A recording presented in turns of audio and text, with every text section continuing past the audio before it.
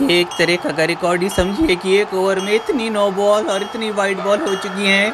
बारहवीं गेंद अब होने को तैयार है। आपस में लोग हंस रहे हैं। एम्पायर भी बुरी तरह परेशान हो चुके हैं। बार बार उनको समझा समझा के और फिर तैयार, गेंदबाज तैयार। बस एक उम्मीद बांधे हैं कि ये गेंद तो खेलने लायक होगी, लेकिन ये बॉल फिर कहीं और चली गई।